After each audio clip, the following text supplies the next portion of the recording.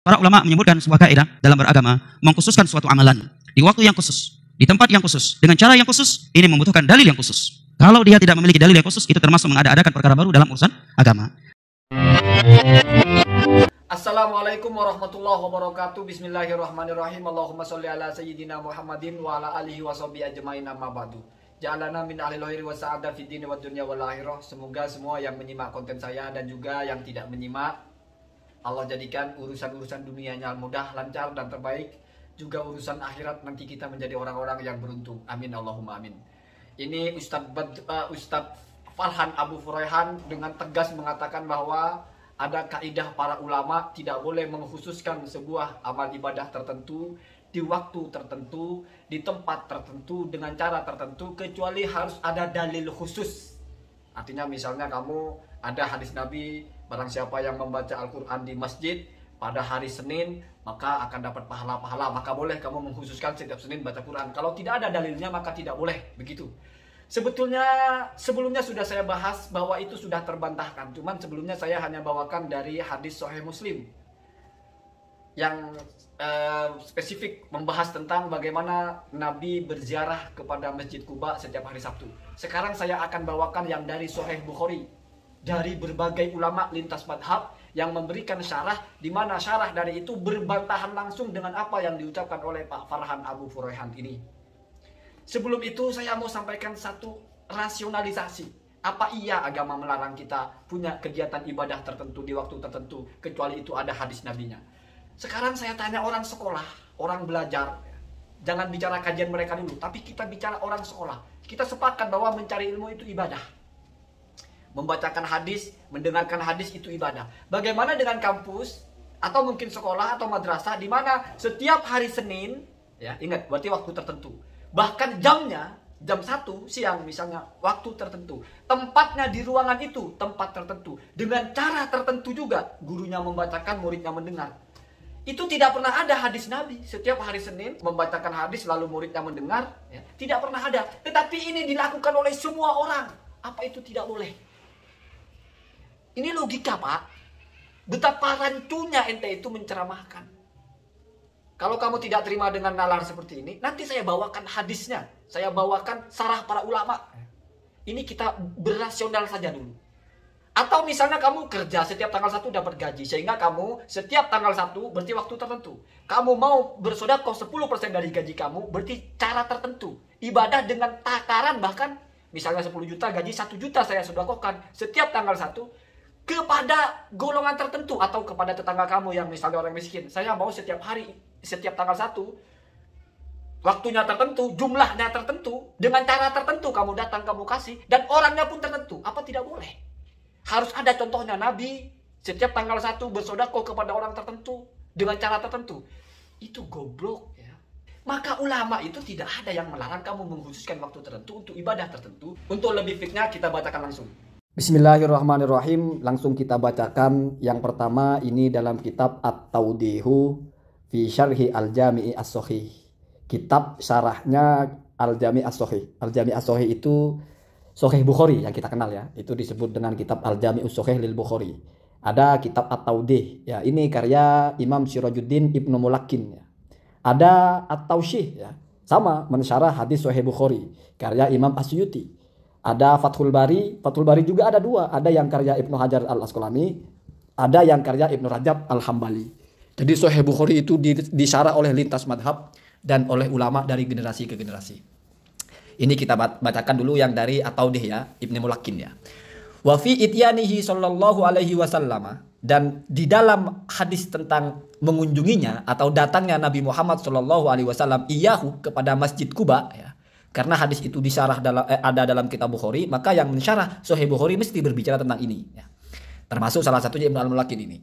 Yaumas Sabti pada hari Sabtu ya dilalatun ada sebuah dalil bukan dilalah ya kita sering baca dilalah tetapi sebetulnya dalalatun bacanya ya ala jawazi takhsisi ba'dil ayyami tentang bolehnya mengkhususkan hari tertentu atau sebagian hari biba'dil a'mali dikhususkan untuk apa untuk melaksanakan sebagian dari perbuatan atau amal as yang baik wal mudawamati ay wa ala jawazi al mudawamati Dan dalam hadis ini juga ada dalil bolehnya terus menerus al mudawama itu terus menerus atau kontinu atau rutin ya.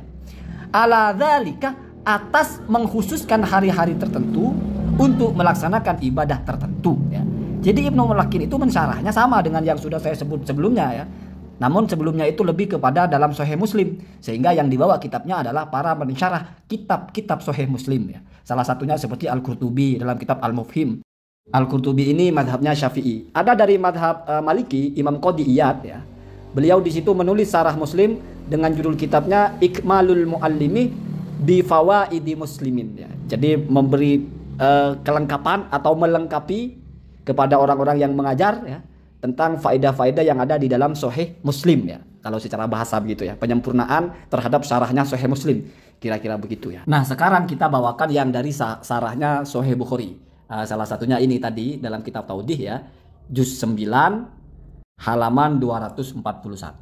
Ini yang dari madhab syafi'i dulu. Al-Mulakin ini, Ibnu Al-Mulakin ini madhab syafi'i. Sekarang kita bawakan yang dari Al-Hafidh Badruddin Al-Aini dalam kitabnya Omdatul Qori yang juga sama-sama syarahnya Sahih Bukhari dan beliau adalah madhab Hanafi ya. Saya bawakan lintas madhab biar klaim kaidah para ulama itu kita tahu ulama siapa yang dia maksud gitu ya. Kita kok nggak temukan gitu ya. Langsung saya bacakan yang dari madhab Hanafi ya. Bismillahirrahmanirrahim. Wafihi dan di dalam hadis itu ya, ya sama hadis tentang Nabi mengunjungi Masjid Kuba setiap hari Sabtu.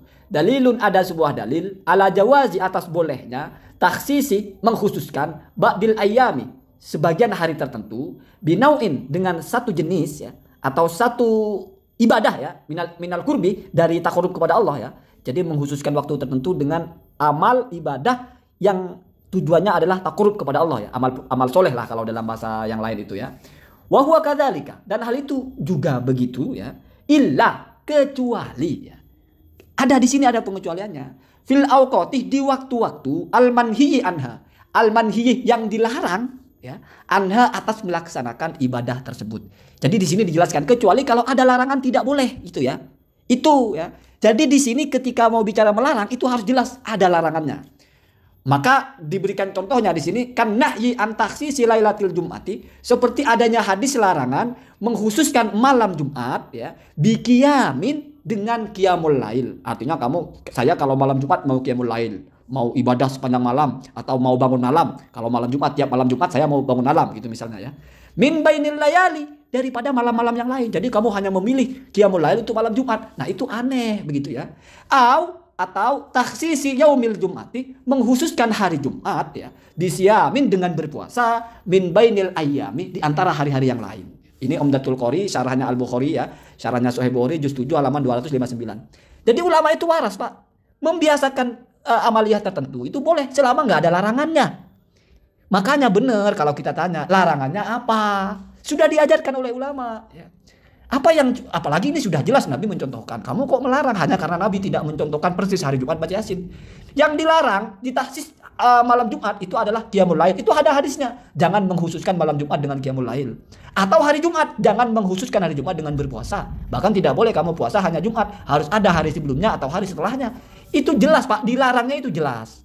Ada teks larangannya, bukan karena Nabi tidak mengerjakan. Ya, ini akan saya bahas juga ini bagaimana kita memahami bid'ah itu apa sih gitu ya.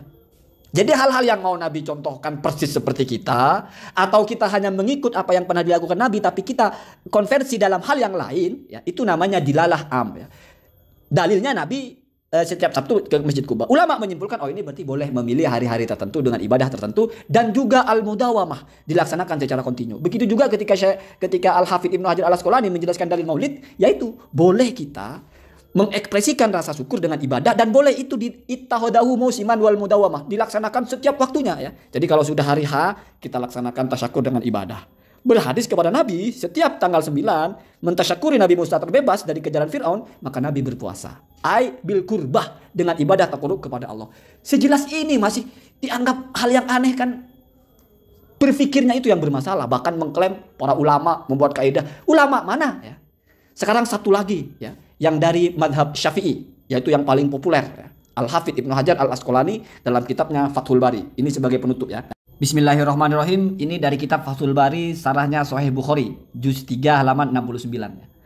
Wa fi hadzal hadis dan di dalam hadis ini alakhtilafi turukihi dari berbagai macam jalurnya. Jadi banyak jalurnya hadis itu ya. Ada yang versi riwayat siapa, ada yang versi eh, yang meriwayatkan siapa itu ya. Dalalatun ada dalil. Dari dari dari hadis ini di mana ter, terredaksikan dar, eh, dari dengan berbagai turuk atau berbagai jalur ya. Maka ada dilalah ya. Ala jawazi taksisi ba'dil ayami sama terhadap bolehnya mengkhususkan sebagian hari biba'dil a'mali as-solihah dengan sebagian perbuatan-perbuatan yang baik. Wal mudawamati ay wa jawazi al mudawamati dan juga boleh itu dilaksanakan terus-menerus ala dalika atas hal itu ya. Artinya boleh terus-menerus melaksanakan itu ya. Jadi sudah jelas hadisnya ada, dalilnya ada mengkhususkan waktu itu ya. Terus yang memahami hadis ini juga adalah para pensyarah hadis yang sudah populer. Imam Ibnu Hajar al Asqalani, Imam Badruddin uh, al Aini, Imam Sirajuddin Ibnu Mulakin ya. Itu yang Sahih Bukhari. Kalau yang Sahih Muslim ada uh, Imam Al-Qurtubi, ada Imam Qadiyat ya, Imam Al-Qurtubi Al-Mufhim, Imam Qadiyat Ikmalul Muallim bi Fawaidi Muslim ya. Sudah lintas madhab ternyata menjelaskan hadis itu sama ya. Dan mereka juga di awal itu ya, dalam Sahih Muslim itu menyatakan bahwa ada ulama yang melarang hal itu atau memakruhkan yaitu Ibnu Syamah. Ternyata Ibnu Maslamah maksudnya ternyata itu karena mungkin Ibnu Maslamah tidak mendengar hadis ini. Allahumma hadina sabil. Saya sampaikan hanya apa yang ada datanya, bukan saya beropini. Semoga kalian bisa memahami bahwasanya kita beramaliyah itu bukan tidak ada dalilnya. Jangan lagi jangan lagi kamu bilang diamalkan baru dicari dalilnya. Bukan, tapi karena kamu resek maka kita kasih tahu dalilnya. Bukan kita cari, sudah ada di mana-mana. Cuman sayangnya kamu kalau baca kitab tidak mau baca yang lain. Maunya cuma baca kitab ulama kamu ya. Sehingga ada mereka berfatwa mungkin tidak boleh lalu kamu tidak boleh. Padahal ulama yang lain itu banyak yang menyatakan bahwa ada dalil bolehnya menghususkan sesuatu di waktu tertentu, ya amal baik maksudnya di hari tertentu dan boleh kontinu. Dan itu dalilnya adalah hadis Nabi ya. Dan ini adalah dalil umum. Kenapa? Karena Nabi mencontohkannya ziarah ke Masjid Kuba. Lalu ulama menyimpulkan dari situ bahwa bolehnya melaksanakan ibadah tertentu. Tahsis ba'dil ayami bi ba'dil a'mali as-solihah wal mudawamati alaiha. Itu mutafak baina surah ya.